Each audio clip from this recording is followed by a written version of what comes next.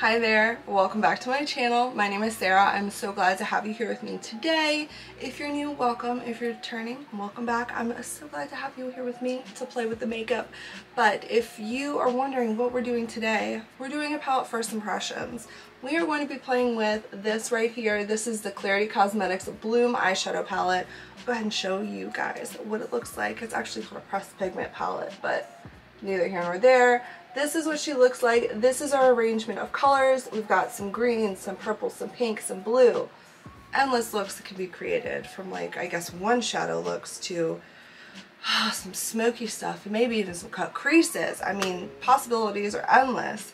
But we're doing a first impressions on it today. Here in a minute, we're going to get into some swatches of it, but right now I'm just going to give you a brief overview of the brand and the palette itself. Klarity Kosmetics is an independently owned makeup brand. It's based in the United States. I think it's in Texas to be specifically, and it is owned by a woman of color, and she has a variety of products she has lipsticks. I think they recently expanded their range into blushes. They have various eyeshadow palettes. I know that uh, people have said their previous palettes have been hit and miss with the formulations. I can't really speak on that. This is the first product I'm trying from the brand. So I don't know, but we'll see how she performs today. And just to give you a little bit of information about the palette itself, it retails for $48 USD on their website and it says it consists of five pigmented mattes, three foiled eyeshadows, and two duochromes. And I will go ahead and go over all of the details which is which when we go ahead and do some swatches. Now this product is handmade. It is vegan and cruelty free, super pigmented, buttery, easy to blend, has no fragrance, which I mean that's nice. And that's just some, you know, food for thought from their website. Alright, let's go ahead and get into some swatches of the Bloom palette from Klarity Kosmetics. Okay, so the first shade that I'm swatching is called Rose Over Bros. It is a really, really creamy metallic formula. Like, you don't even really have to swirl your finger around in the pan. Just tap it and you get so much the next shade is Don't Be So Posy, and this one is a matte.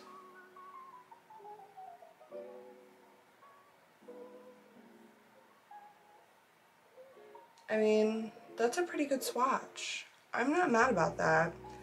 The next shade is Unbelievable, and that's another metallic shade. This one is green. And then we have another matte shade coming up, and that is a, Such a Buttercup.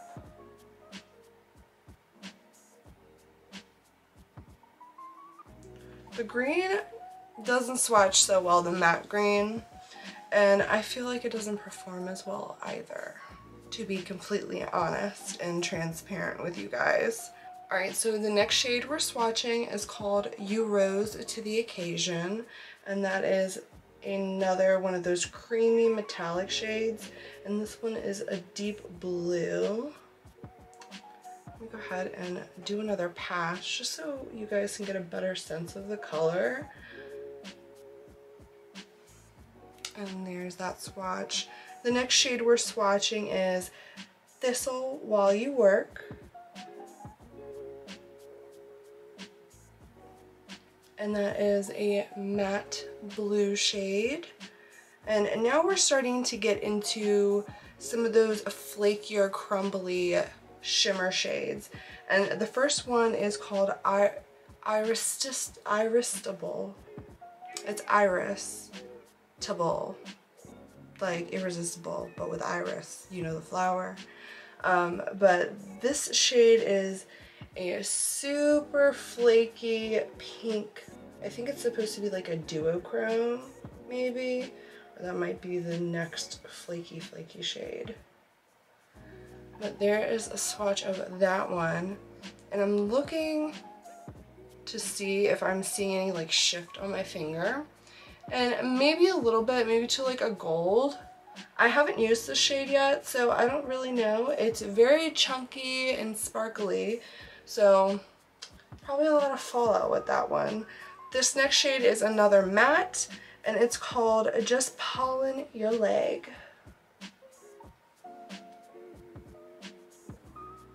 Oh, this one's not swatching the best. I'm going to go in for more.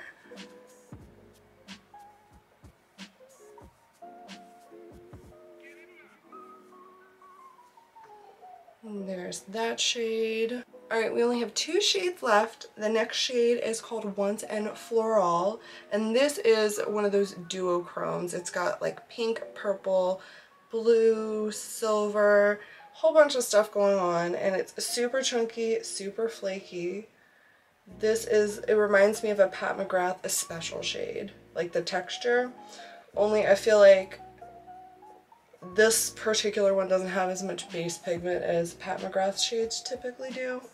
Um, but it's very similar in formula and like the way it feels. I do have to say that.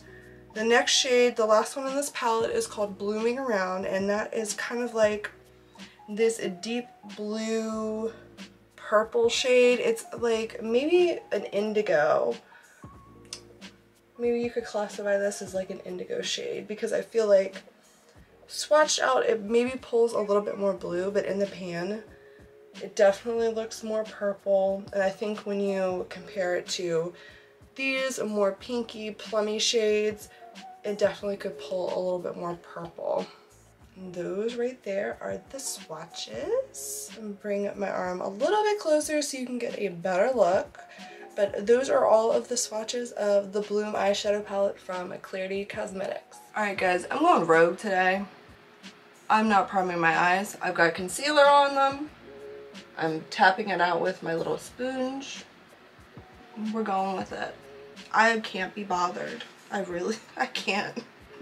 But I know we all have those days, right? This, it's one of them for me. And I might regret this. This might turn real bad real fast, but we're to see what happens. I'm to grab a Rephr number 12. It's just like this dense dome brush. And you can use it for packing on shadows, blending. I like to use it for cream products mostly, but I'm going to use it for this palette today. And to start things off, I'm going to go in with this green shade right here. It's called Such a Buttercup. I'm just going to dip my brush into it and get it nice and coated.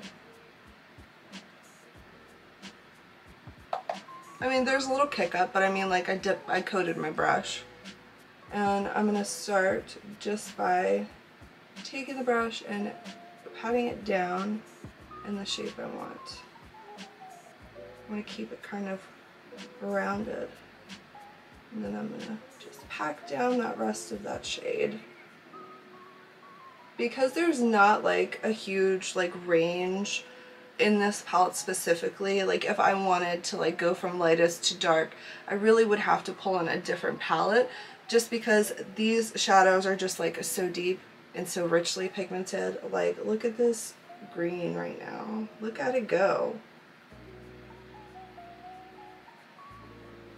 Like I haven't dipped back in. That's just like what was on this. It looks very nice. Let's go ahead and do the other side. And if you're wondering why I decided, oh yeah, it's a great idea to do your base first, I'm doing a wear test on foundation. I'm just trying to keep my brows relaxed. Something that I personally have an issue with is when I'm doing my makeup, I like to raise my eyebrows because my eyes are hooded. And for some reason I feel like that helps. It does not. It does not. It just makes it like harder to even things up. So personally, I'm working on trying not to raise up these eyebrows. But I think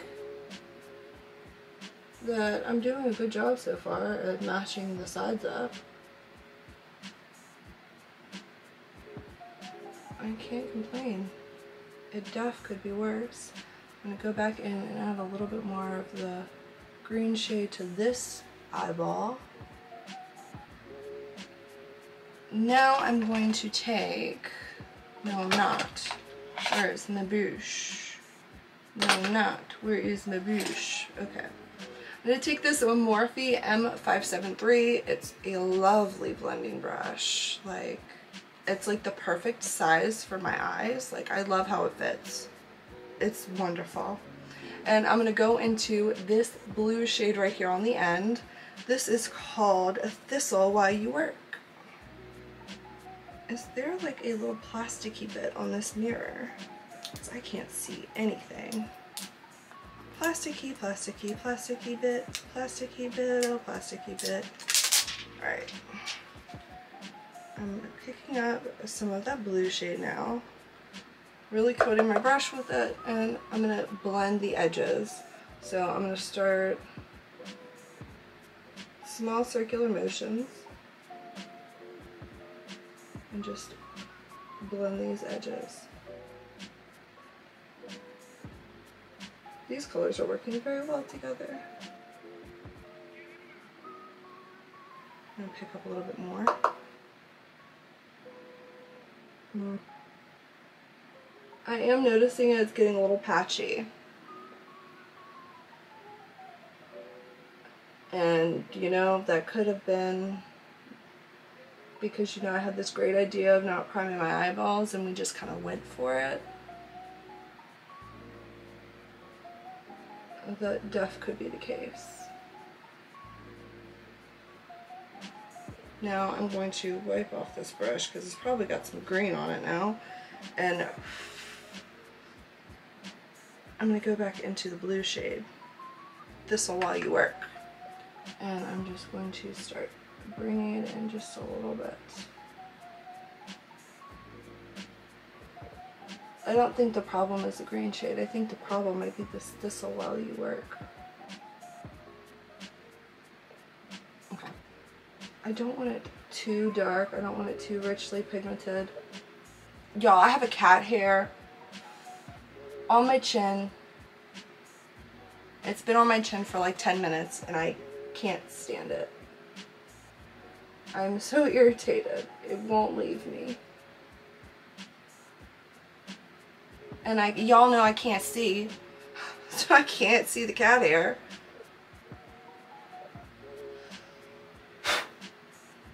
There was a cat hair on my makeup brush. Okay, so cat's definitely been like um visiting my room. I'm going to go on to the other eye now and we're to do the same thing, blending the edges. I don't know about you guys, but I make some real strange faces when I'm blending my eyeshadow. And now I'm just to bring it in a little And I'll wipe my brush off for the other eye, but I guess we're abandoning that tactic today.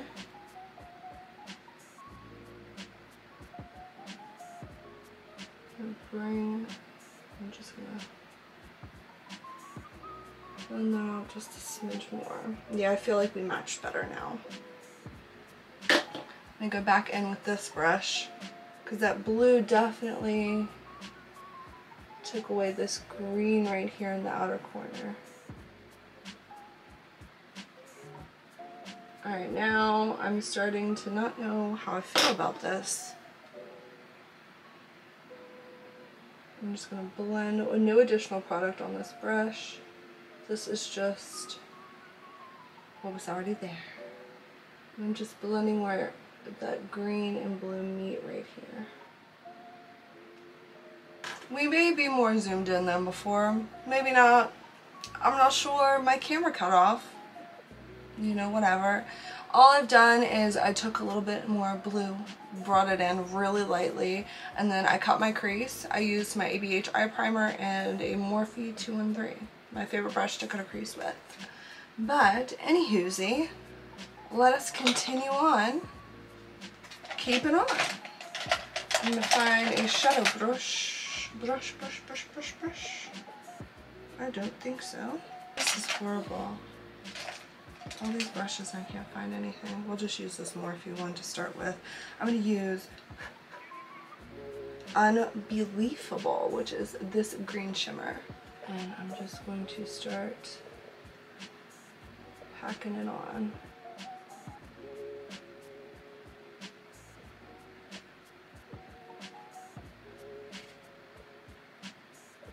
And I'm going to go into a little bit of You Rose to the Occasion, which is that blue metallic shade on the end. And I'm going to put that in the outer corner. Or not the outer corner, but the edge. I'm going to use my finger a little bit. I'm really not jiving with this right now. This is not going as expected. But we will try to fix this. I think. I'm going to take that green all the way in though.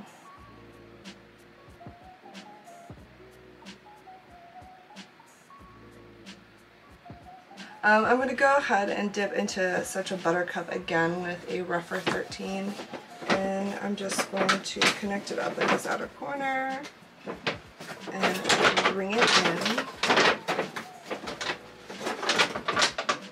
For my inner corner highlight and brow bone highlight, I'm using my Natasha Denona Glam Face and Eye Palette in Dark. I'm just using the highlight shade from there. And really, because of how I brought the green in, I don't really need much of an inner corner highlight. But I do just want to bring some brightness and a shine right on this bottom edge of like my inner tear duct. Alright guys, so this is the final look with this eyeshadow palette all completed. I put on some blue eyeliner and I put on some mascara and a lip and I don't know if you caught it. I am not sure. My camera had cut off and everything. I did put a little bit of my face highlight, which is the highlighter from the Natasha Denona Glam Face Palette in Dark. I put that right in here just to, you know, add a little, a little pop. But other than that, I am done with this look. I'm to have to play with this a little bit more, definitely, and try to do some different kinds of looks with it maybe it just needs a different, and maybe it needs a better base than, you know, NARS um, Radiant Creamy Concealer because that's what I used and not the best. So I am going to try this again. I'll probably do like a three looks one palette with it. Just, you know, play with some more shades or maybe do it like a full face of nothing new. Something along those lines. But I don't know if you guys can tell, but in this outer edge it was a little patchy. It was a little difficult to blend the shades and to work with them. At first I felt like they were blending into each other really well but it did take a little bit of extra effort. Um, these are extremely pigmented shadows. The mattes are so pigmented. So a little goes a long way and it can get a little hairy sometimes you know if you're not being super precise or something like that. But I really I enjoyed this I really did. I enjoyed this look that I created. I think it's very pretty and I like the tones of the green and the blue and like something else that I do want to say and then this this is in no way bashing an independently owned brand or anything like that this shade right here I did not expect it to be super crumbly and it's just like it's spongy it's like the weirdest thing I'm like look I just tapped it. It's just like the weirdest formula. I've never experienced something like that and it makes me very scared that this is going to be very fragile. But it's very pretty. But yeah, like I said, I'm definitely going to have to play with it some more. So far so good. I mean, a little patchiness and everything could just simply be because I used a concealer and not a standard eyeshadow primer. So I'm not gonna, you know, knock it really for that. I think the color story is beautiful and it's definitely like the vibe I'm feeling right now. So if you haven't subscribed already, please do. I mean, if you want to see me create some more looks with this, then, you know, definitely subscribe and hit that notification bell. Give me a thumbs up because it really helps my channel out and I would love to see you around here again to play with the makeup. This is a place for makeup lovers. And yeah, guys, I'm gonna get out of here. Um, yeah. But yeah, guys, I'm gonna go ahead and get out of here. I'm gonna pop off and I will see you guys in the next one. Again, thank you so much for stopping by and watching this video. I hope you have a wonderful day. Bye.